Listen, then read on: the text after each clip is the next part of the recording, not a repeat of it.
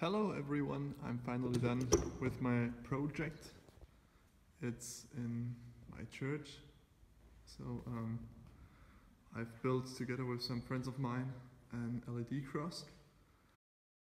See there are 280s, uh, 280 LEDs in the background of the cross. And there are two modes.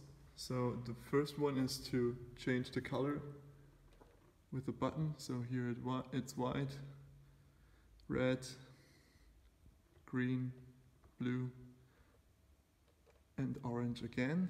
And there's also a second button to change the mode. So for example, now you can have some stripes going among the cross, as you can see.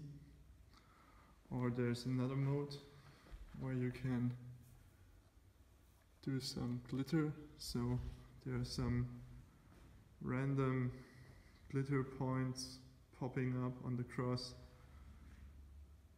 And of course you can change the color during this modes. So if I want to have white glitter, it's no problem.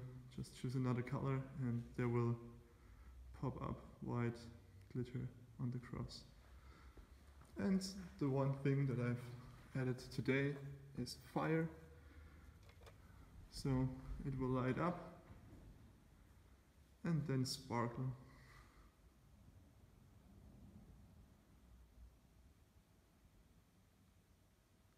I hope you like the project and uh, just before anyone is asking, the code is really really messy so I'm a little bit embarrassed and I won't put it on GitHub or something like that before I've reviewed it and did some major changes, unfortunately.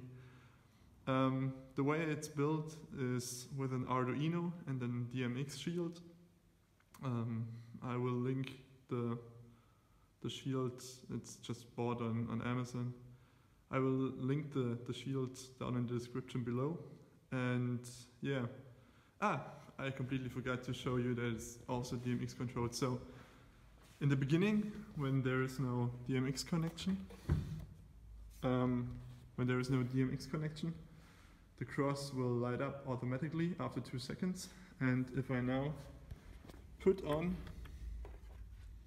the board, it will switch to DMX mode. So if I now put the fader on,